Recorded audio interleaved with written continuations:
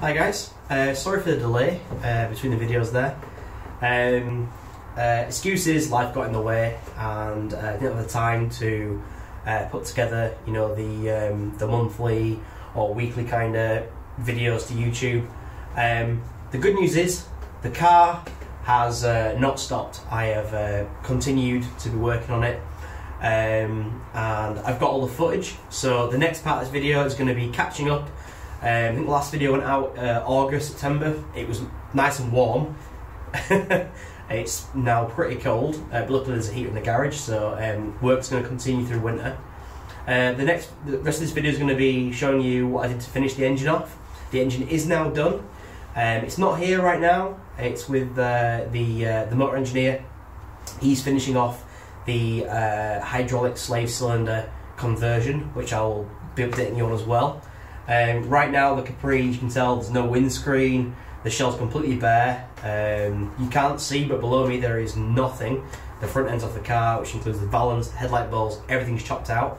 Um, but the rest of this video is going to be showing you finishing off the V8, and then I'm going to follow it up with uh, how much work I've done with the bodywork into the chopping things out, and um, perhaps a trip to the Soda Blaster, which is where this car's destined um, to be next. So in the next couple of weeks, she's off to the Soda Blasters. They are going to strip the car bare, back to bare metal, uh, and zinc primer up, and going to give me a pretty reliable shell to finish chopping bits out and finish uh, welding new bits on. So we're getting to the engine now, the you know the uh, the curve where stuff comes off the car and it levels out, and then it starts to go back on again. So uh, yeah, bear with me. The videos are going to be sporadic and stuff because you know, you know this is a, a hobby of mine, and um, there's going to be uh, fits and starts here and there. But uh, yeah, keep watching. I'm going to keep the video recording, and uh, hopefully there'll be some good stuff for you guys to watch. So thanks for watching. See you guys in a bit. Alright, so I finally got round to uh, the fun part of rebuilding the engine. Um, you see here it's basically a completely bare block um, with the first bearing uh, I popped in place. So the first thing I'm going to do is fit these uh, conrod bearings, which are over here.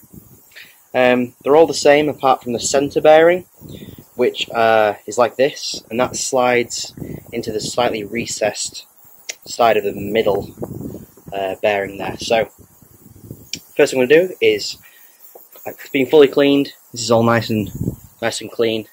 Uh, going to pop these in each of the bottom sides with a dab of some um, uh, I think it's pronounced, uh, assembly um, lube. All in here. You can see in here the cam's already in. Um, it's a Viper Hurricane camshaft, so that's already in and greased up, so that's good. And uh, yeah. So um, bit of a gap uh, in the videos here. Um, I have in fact put the entire bottom end together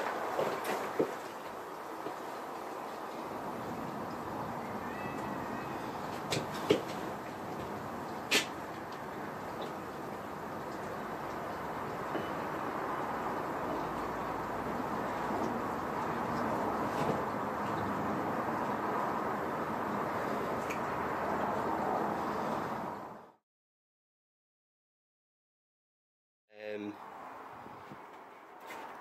the next stage is to add the um, the washers and the nuts uh, from ARP and then we're going to start the uh, torquing down sequence.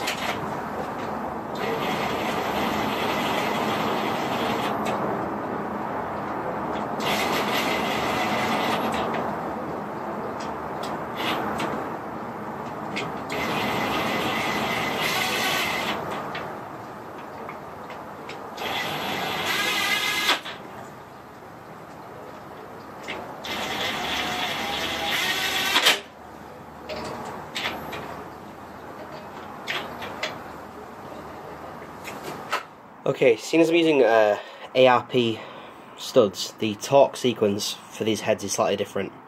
Um, a normal uh, stretch bolt, you would uh, tighten it in the uh, the correct order, and then you would let it settle, and then you turn it 90 degrees, let it settle, and then a further 90 degrees. That would stretch the bolts out.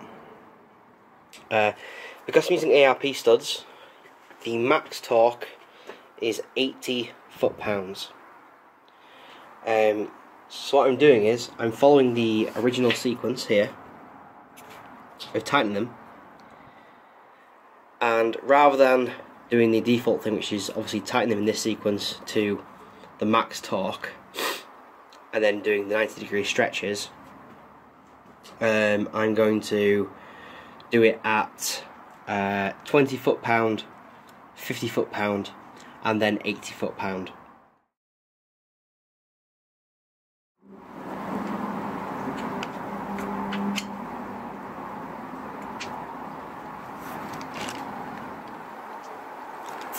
Alright, so the heads are on, uh, the push rods are in, um, really simple, so see all the uh, lifters in there, sitting happy, uh, bit of a lube on the end of there, um, and the next stage is to get my lifter assembly and place it straight on here.